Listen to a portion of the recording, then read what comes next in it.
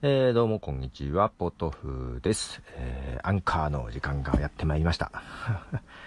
えー、なんか夜アンカーを録音するのがなんとなく習慣化してきてるこの頃ですが、えーと、今日はですね、ちょっと前に、まあ話題になりました、えー、サントラ。サントラ特集みたいな感じで、ちょっとあの途中なんかいろいろ挟みましたが、えー、今回はサントラをちょっと一つ紹介しようかなと思います。で、そのサントラなんですが、映画がですね、えー、これは何年の映画だったかな？えー、っとですね、1992年、えー、キャメロン・クロー監督のシングルスっていう映画です。これはですね、シアトルを舞台にしたですね、えー、グランジロック、そう、グランジロックが流行ってた頃のシアトルを舞台にした青春映画みたいな感じですね。で、確かマット・ディロンとかその辺が出てたのかな。ブリッジ・フォンダと、ブリあブリジット・フォンダとマット・ディロンが出てた感じですね。えー、っとですね、これはですね、映画自体は、うーん、若干 B 級っぽいところが ある感じなんですが、まあそのグランジブームの、えー、空気感とかその辺がね、えー、あって、え、音楽満載な感じの映画です。で、サントラの方が、これがね、えー、っと、アリス・イン・チェインズ、え、パール・ジャム、クリス・コーネル、ポール・ウェステンバーグとか、えー、地味編の曲も入ってるな。あと、スクリーミング・トゥリーとか、スマッシング・パンプキンとか、結構そのさ、まあ、グランジとか、その周辺のですね、人たちが参加してましてですね、このサントラ自体ですね、えー、まあ、アンチサントラみたいなところがあって、なんかそのグランジシーンのミックステープ的な感覚で作ったっていうのをね、えー、見ましたね。これはですね、だから映画そのものも見たこ、2回ぐらい見たかもしれないですけども、もうサントラの方が結構、えー、結構ね、私パールジャム、そう、あの頃、えー、ニルバーナかパールジャムってなんかあったと思うんですよ。ニルバーナ派かパールジャム派みたいな。あの、ビートルズ派かストーンズ派みたいな感じで。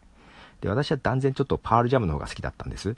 まあ、ニルバーナも全然聞かないわけじゃないんですけど、ニルバーナよりは、その後のフーファイターズの方が聴いたかな。うん。で、グランジとしてパールジャムの方が好きで、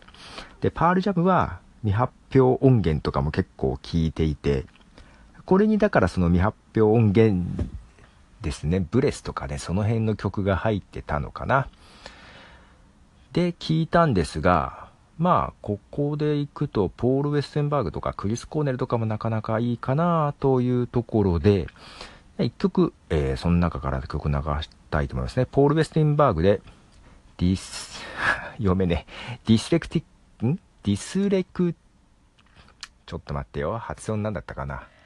えー、ディスレクシックハート。ということで、ディスレクシックハート。あ読みにくい。失読症のって意味らしいですね。 Dyslexic。えー、で、このアルバムなんですが、まあ、映画としては、えー、1992年なんですけど、実は今年ですね、えっ、ー、と、映画、何周年 ?25 周年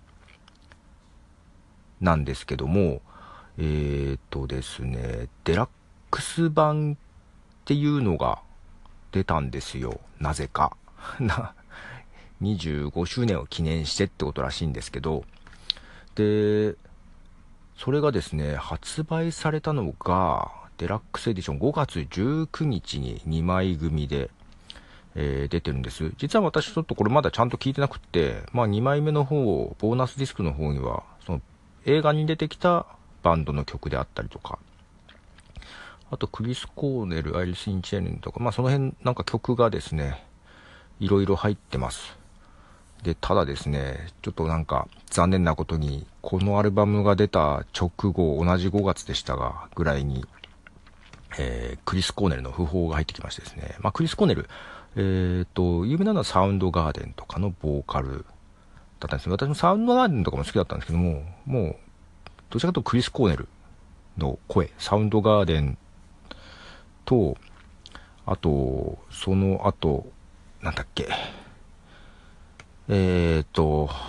もう、なんか今ちょっとなんか動揺してる子なんで、ちょっとブログにもね、その亡くなった時、ちょっと書いて、実はそのクリス・コーネルと、えっ、とですね、パールジャム、後にパールジャムとなるメンバーで、あの、期間限定のある、あの、バンドみたいなのが、えっ、と、あってですね、アルバム1枚出してるんですけども、テンプル・オブ・ザ・ドッグっていうアルバム、これすごい好きでね、で、クリス・コーネル、その頃からずっと好きだったんですけど、かなりショックでですね、で、この間、リンキンパークのボーカル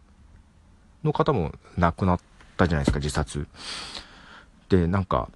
クリス・コーネルとすごい仲良かったらしいですね。で、自殺した日がクリス・コーネルの誕生日だったらしく、後追いじゃないかみたいな話があって、なんか、ちょっといいボーカリストを、なんか今年はなくしてしまったなっていう感じですけども、まあそんなちょっと悲しい思い出にもなってしまいましたが、まあこのクリス・コーネルがこのシングルスに提供していた曲、これも、え、流したいと思います。ではクリス・コーネルでシーズンズ。はい、ということで、クリス・コーネルのシーズンズでした。えーと、そう、クリス・コーネルが亡くなった時にですね、まあ、クリス・コーネルのプレイリストも作ったりしましてですね、この曲も入れてますね。そうそう、クリス・コーネルがいたバンド、え、ー、と、サウンドガーデンと、オーディオスレイブですね。オーディオスレイブも、まあまあ好きでしたし、えー、シングル、シングルじゃない、ソロになってからの曲も結構好きでしたね。で、クリス・コネルも、あのー、サントラに提供した曲も何曲あったりしますが、はい。えー、非常に残念だなというとこですね。ということで、えー、まあ、あと今日は、まあ、もう一曲、シングルスから、えっ、ー、と、地味編の曲流しますね。えー、地味変動リックスで、メイジスビーラブを流して今日は終わりたいと思います。では、ボトフでした。じゃあね